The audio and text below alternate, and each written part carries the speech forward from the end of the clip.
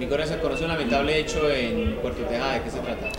Sí, efectivamente el día primero de diciembre, en las horas de la tarde, se presenta una situación en el municipio de Puerto Tejada en el que lamentablemente resulta muerto un niño de dos años. Este niño ya se ha dejado solo en su vivienda por los padres quienes se, quienes se encontraban departiendo con los vecinos. Eh, la bienvenida al año nuevo, el niño se levantó al parecer de su, de su camita y fue a tocar a las crías de una perra pitbull que se encontraba dentro de la vivienda.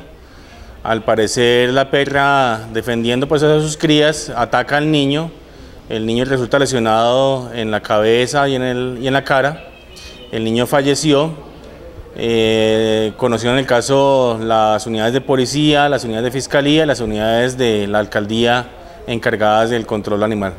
¿Qué, qué va a pasar con ese perro?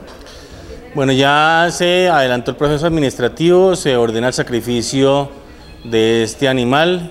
Además de eso, se hace el proceso judicial a través de la Fiscalía y Bienestar Familiar, quienes tomarán las medidas eh, judiciales a que haya que tomar con respecto a los padres que dejaron a este niño solo en la vivienda durante toda la tarde. Eh, ¿A qué hora se da cuenta la familia del fallecimiento del niño? El caso se conoció por parte de las unidades de policía aproximadamente a las, 10, a las 7 y media de la noche.